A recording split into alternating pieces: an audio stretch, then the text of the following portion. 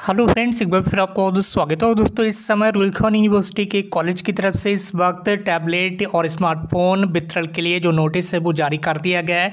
आपको form fill करने के साथ साथ फॉर्म के साथ में कौन कौन से डॉक्यूमेंट्स लगाने ज़रूरी होंगे, सारी चीज़ें आज के इस वीडियो में आपको लाइव देखने के लिए मिलेंगी। तो प्लीज़ इस वीडियो को अपने अदर फ्रेंड्स के साथ आप ज़्यादा से ज़्यादा शेयर करेंगे और इस चैनल को जल्दी से सब्सक्राइब करते हुए वेलाइकन को ज़रूर प्रेस कर लेंगे, क्योंकि कोई भी अपडेट हम आपसे मिस नहीं होने देते हैं, चाहे वो किसी भी कॉलेज, किसी भी यूनिवर्सिटी की हो। तो प्लीज़ इस चैनल को जल्दी से सब्सक्राइब कर लीजिए, देख लीजिए, ये आज का नोटिस आ चुका है। कौन से कॉलेज से आ रहा है? स्क्रीन पर आप लाइव देख पा रहे राजकीय महाविद्यालय, यहाँ पर देख सकते होंगे। राजकीय महाविद्यालय, गंगेश्वरी, अमरोहा। आपको बताइए, अमरोहा में जो भी कॉलेज हैं, वो रुलखन यूनिवर्सिटी से एफिलेटेड हैं। तो ऐसे में एक बड़ी अपडेट आ चुकी है। एक बार फिर से रुलखन यूनिवर्सिटी के कॉलेजेस की तरफ़ से महाविद्यालय के समस्त छात्र छात्राओं को सूचित किया जाता है इस कॉलेज के। जिस कॉलेज का यहाँ पर नेम आप देख रहे हैं, इस कॉलेज के सभी छात्र छात्राओं को सूचित किया जा रहा है उत्तर प्रदेश शासन के अनुसार युवाओं के तकनीकी सशक्तिकरण हेतु टैबलेट, स्मार्टफ़ोन वितरण योजना लागू किया जाना प्रस्तावित है। अतः महाविद्यालय के छात्र छात्रों को निर्धारित प्रारूप पर अपना जो आवेदन है, पत्र है, वो दो प्रतियों में संपूर्ण कर महाविद्यालय में दिनांक तेरह नवंबर 2021 तक। इस कॉलेज की जितने भी स्टूडेंट्स हैं, वो तेरह नवंबर तक अपना फॉर्म कॉलेज से प्राप्त करके उसे कॉलेज में ही सबमिट कर दें। ठीक है, प्रमाण पत्रों के साथ जमा करने सुनिश्चित करें। आवेदन के साथ जमा किए जाने वाले जो प्रमाण पत्र हैं, वो निम्नलिखित हैं, आप नीचे देख पा रहे नीचे बाकी यहाँ पे प्राचार्य जी की मोहर वगैरह लगी हुई है। ठीक है, नीचे आप देख सकते होंगे। बाकी यहाँ पर आपको देखने के लिए मिला है क्या क्या डॉक्यूमेंट्स लगेंगे।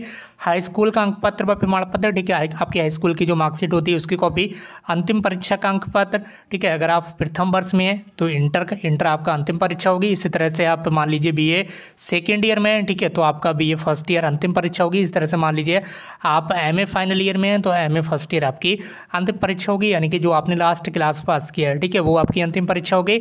उसके बाद अपनी कक्षा का आई कार्ड ठीक है? जिस क्लास में आपने अभी एडमिशन ले लिया है ठीक है, उस क्लास का आई कार्ड अब आप समझ गए होंगे कि यहाँ पर प्राइवेट वाले प्राइवेट जितने भी कोर्स करते हैं स्टूडेंट्स वो स्टूडेंट्स यहाँ से गायब हो जाएँगे। कैसे हो जाएँगे? क्योंकि उनके पास आई कार्ड नहीं होता है।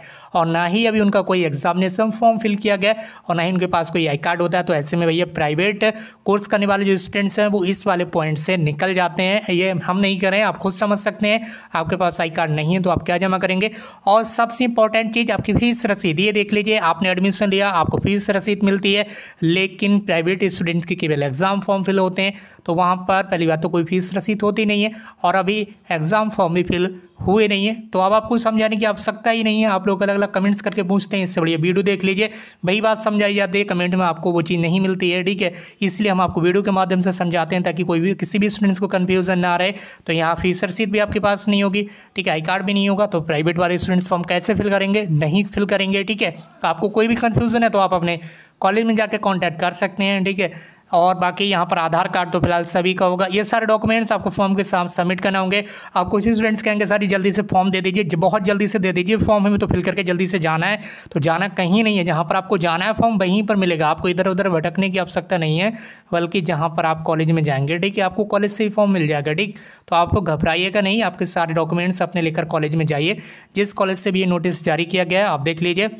राजकीय महाविद्यालय गंगेश्वरी अमरोहा इस कॉलेज से जितने भी छात्र छात्र हैं, फटाफट कॉलेज में पहुंचकर अपना फॉर्म लीजिए, वहीं पर फिल करके उसे सबमिट कीजिए। और दोस्तों, ये थी आपके लिए कुछ महत्वपूर्ण जानकारी। ये तो आपको पता ही होगा, जैसे भी जिस जिस कॉलेज से न्यूज़ आ रही है, हम तुरंत आपके लिए लेकर आ रहे हैं वो न्यूज़। तो प्लीज़ इस चैनल को सब्सक्राइब करते हुए वेलाइकन प्रेस कर लीजिए, ताकि जैसे ही आपके कॉलेज से नोटिस आए, हम तुरंत आपको जानकारी दे सकें, ताकि आप अपना जो टैबलेट या स्मार्टफ़ोन का फॉर्म है, उसे फिल कर सकें। इसी तरह की पल पल की अपडेट के लिए आप हमारे साथ बने रहेगा और अब हम मिलते हैं एक नई वीडियो में, एक नई इन्फॉर्मेशन के साथ। Thank you so much for this video